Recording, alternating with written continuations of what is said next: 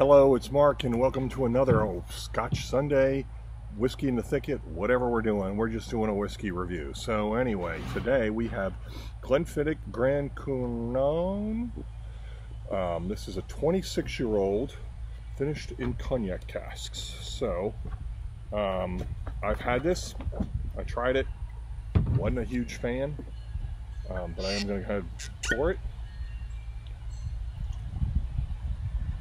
So, you can see it's got a pretty fancy inside there. Got a nice bottle with a nice stopper. Um, I guess I can show it to you and show you the bottle. It's got a lot of fancy gold lettering in there. So anyway, this is Glenfiddich. It's a Speyside single malt Scotch. They're produced by William Grant and Sons. They've been family owned since they since they began. They are located in Dufftown, Moray, Scotland. Glenfiddich means Valley of the Deer, which is why you see their deer logo everywhere. And you also see this other thing of, of Glenfiddich is this triangular, their bottles all have this triangular shape now, which three sides for the water, yeast, and barley. One, um, so anyway, Glenfiddich's the best-selling single malt whiskey and the, and the most awarded. Account for about all of about 35% of all single malt sold. They were founded in 1886 on the glen of the River Fiddich and first distilled on Christmas Day 1887. They have never been mothballed, even uh, they actually even increased production during Prohibition. They have their own in-house cooperage. Um, during the downturn in the 60s and 70s, they began expanding their market and basically kind of invented the single malt expression, which today, of course, is you know the all of Scotch. Um, they have 32 swan neck, swan neck stills, and they also have their own cooperage. Their own cooperage, they have their own coppersmiths. They have um, they use a direct firing method.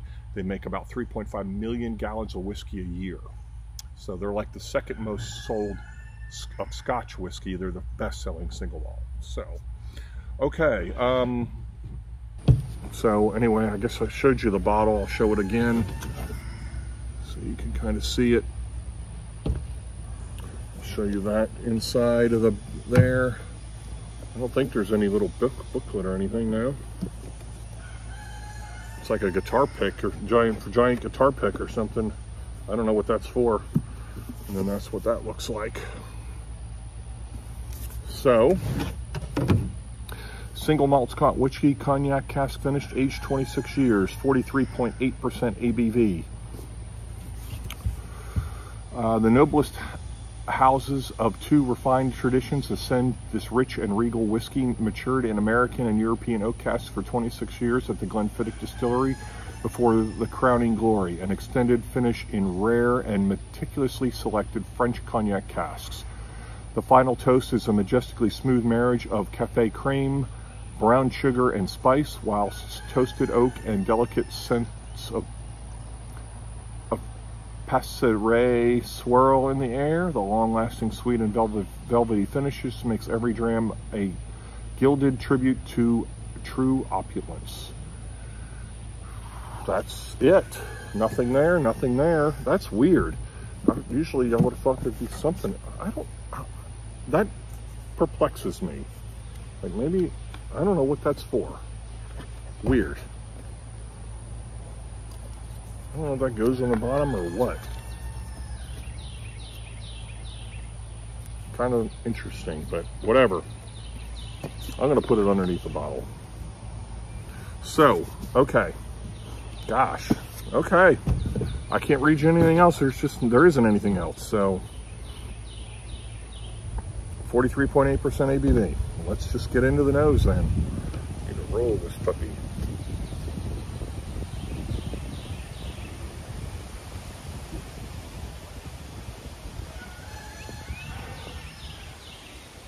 I definitely get lemon, like lemon custard, like a lemon, reminds me of almost a lemon meringue pie on the nose. I get some toasted wood, kind of oak. Get that oaky, almost like it's like almost like toasted oak. I get a lot of oak. I think I did show it to you, right?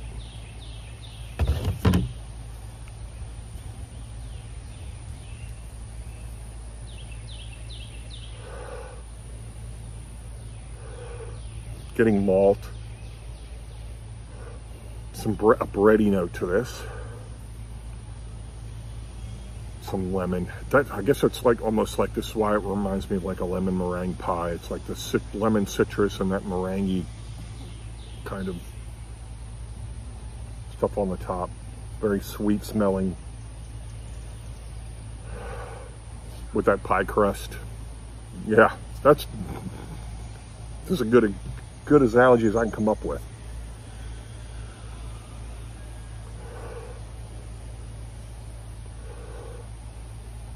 Getting honey,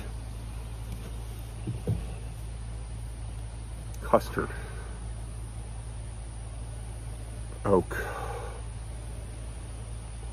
malt, yeah.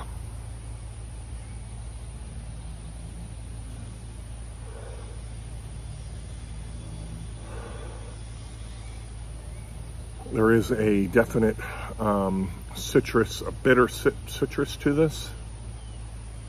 Bitter lemon. Mm -hmm. Dried oak. All right.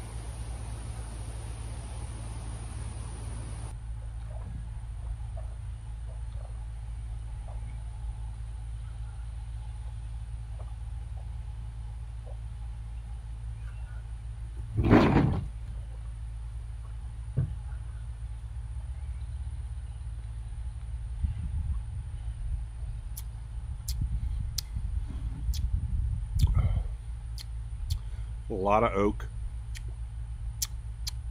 malty. Okay, this is a little better than when I tried it. This may just be need be one that I need to like let sit open. Definitely a bitter, bitter lemon peel, bitter oak. Finishes quick, malty, sweet lemon, lemon, lemon peel.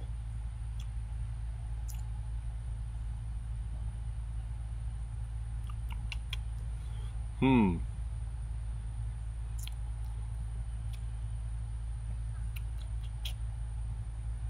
Okay, let's see what else I get. More honey's coming through.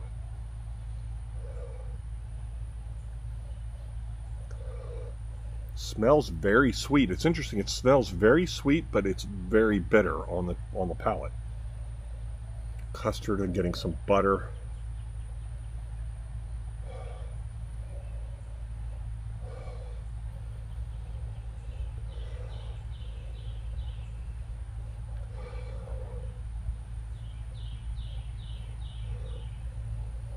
Sweet spices like uh,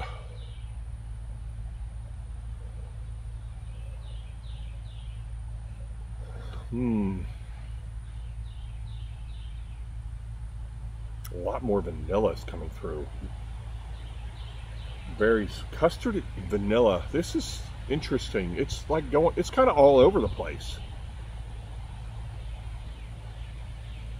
This definitely, I think, is one I need to come back to because even as I come up, each time I come up, I'm getting something different. Something, I don't want to say different, something more, more something else.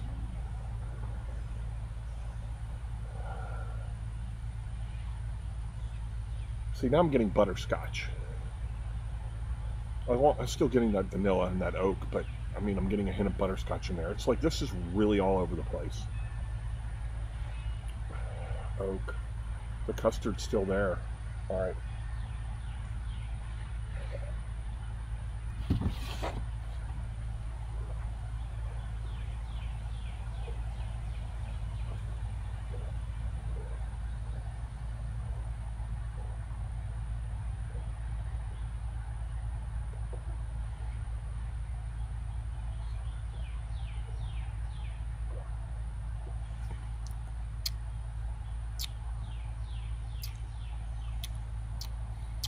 Hmm.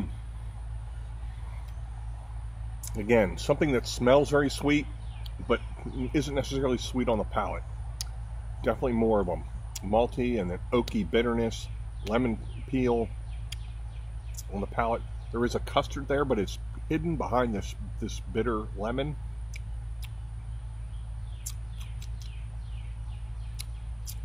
there is that it is there. It's just kind of in the back.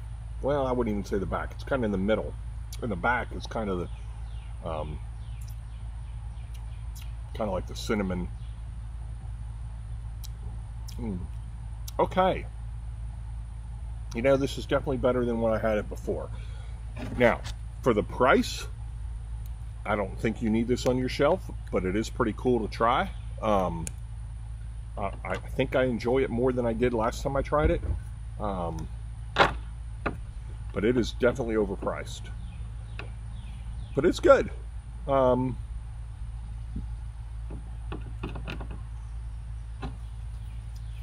it's good.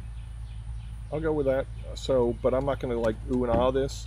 Uh, so I'm going to go with seven because it is kind of cool, but I don't like going by the price because that's just, you know, relative. You know, what somebody's price point is for, it's different for every person. So going by the taste, it's a seven. It's pretty cool. Um, something I like, I, I like it. Um, doesn't blow my socks off, but it's pretty good. So anyway, all right. Thanks for stopping by. Subscribe and we'll see you next time.